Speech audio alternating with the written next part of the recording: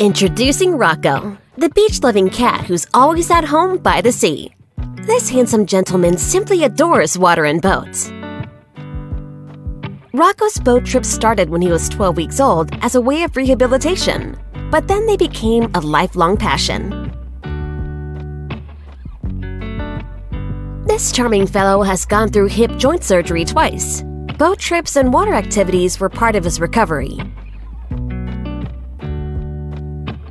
Rocco enjoyed his recovery trip so much that he has become quite an adventurer. He even flies once a month with his human family. It's fascinating to see what a great traveler Rocco is, but what's even more intriguing is his sense of style. Hat and sunglasses are the accessories Rocco wears regularly. Other cats find it crazy. It may look crazy seeing a cat enjoying the water so much, but Rocco is one of a kind. This adorable adventurer doesn't just sit on the boat and enjoy the ride.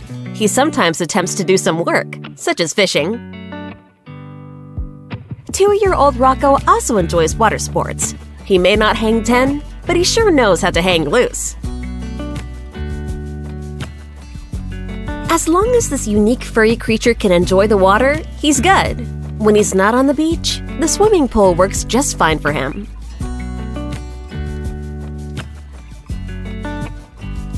Although a swimming pool is a good alternative, Rocco prefers to sunbathe on the beach sand to dry his beautiful fur. When the stylish cat shows up, he shadows everyone else. He's the king of the beach.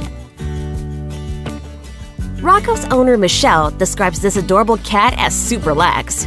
Watching him savor his beach activities leaves no doubt about it.